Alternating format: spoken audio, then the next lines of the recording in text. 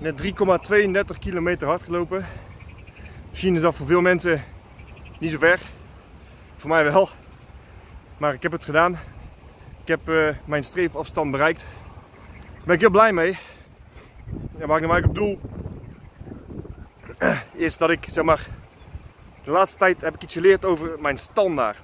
Ik heb mezelf geanalyseerd en ik heb gemerkt dat ik een bepaalde standaard heb qua bijvoorbeeld fysieke fitheid.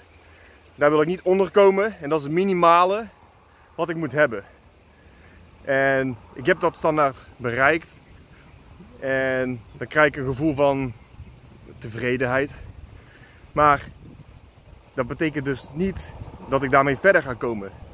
Dat komt omdat ik geneigd ben minder te trainen en minder op mijn eten te letten als ik mijn standaard heb bereikt.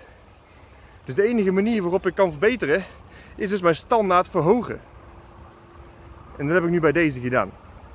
Sinds dat ik daar achter ben, heb ik gewoon besloten van Wes, je moet je standaard gaan verhogen.